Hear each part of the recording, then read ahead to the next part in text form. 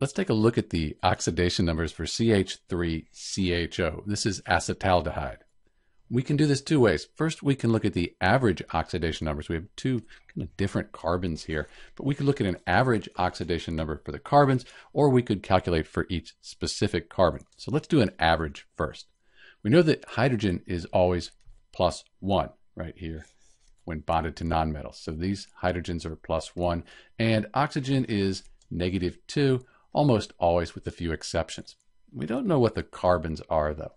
So we could just set an equation up. We have 2x plus we have 3 times plus 1, that's plus 3, and then we have another hydrogen. So plus 4, and then minus 2 equals 0.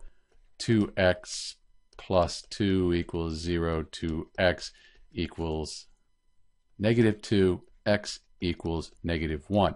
And that would be the average oxidation number for the carbons here in acetaldehyde. But because the carbons here are bonded to different things, they're going to have different oxidation numbers.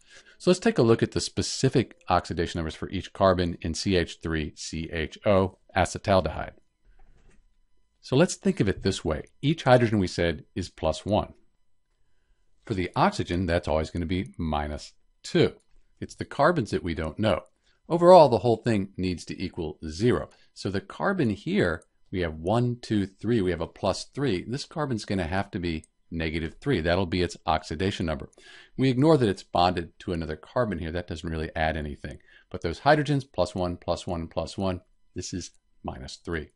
Over here, we have the minus 2 and the plus 1. This carbon, it's going to have to be plus 1.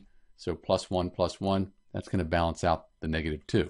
if you add all of these numbers up, it's going to add up to 0.